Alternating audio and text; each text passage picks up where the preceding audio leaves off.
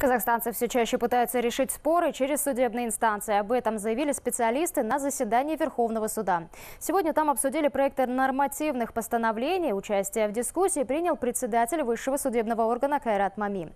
В одном из проектов раскрыли основания, по которым страховщики вправе полностью или частично отказать в выплате. Также разграничена ответственность между туроператорами и турагентом. Еще один документ затрагивает новое трудовое законодательство. В частности, описывает как расторгнуть трудовой договор в связи со снижением объема производства, который повлек ухудшение экономического состояния работодателя. Участники заседания внесли в проекты свои предложения. Окончательно их утвердят после доработки. Например, по страхованию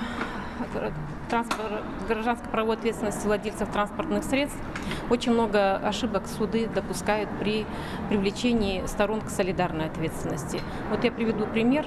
Допустим, владелец, собственник транспортного средства едет в автомобиле, но он сам не управляет, сидит на пассажирском сидении.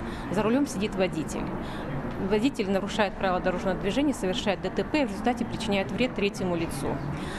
В этом случае отвечает сам собственник транспортного средства, несмотря на то, что он за рулем не сидел. Суды ошибочно привлекают солидарно и собственника транспортного средства, и водителя.